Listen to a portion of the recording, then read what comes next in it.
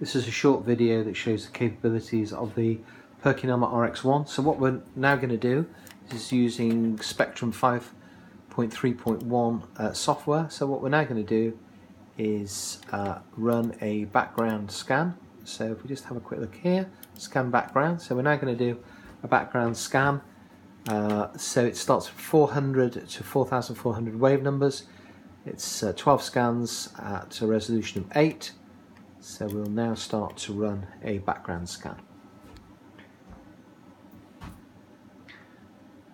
Uh, today's date is uh, February, we're in February, whatever the date is today. Uh, okay, so we can see the um, background scan here and then what we're going to do is we're going to run a sample of polystyrene which has a pretty unique spectra. You can probably see Hopefully you can see that there. So we can see it uh, 3027 and 1601 and 907 etc. So what we're now going to do is press overwrite in there. That brings it up. Hopefully you can see that there. Right, what we're now going to do, there are the manuals for the RX1. What we're now going to do is place the sample in the sample holder and then we'll run the sample.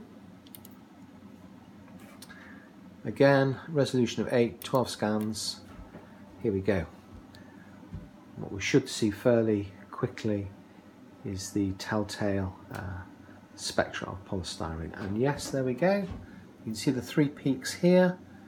You can see this here. So this is exactly what you would expect to see. So this is the PerkinElmer spectrum um, software 5.3.1 with the PerkinElmer RX1 spectrophotometer.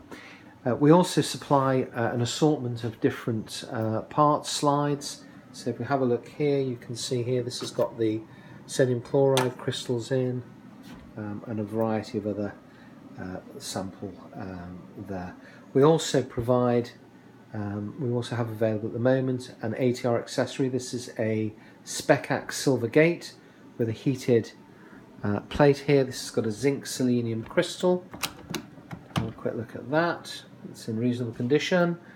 Uh, it's fully operational and in pretty good order. So hopefully this gives you uh, some sort of an idea. Thank you.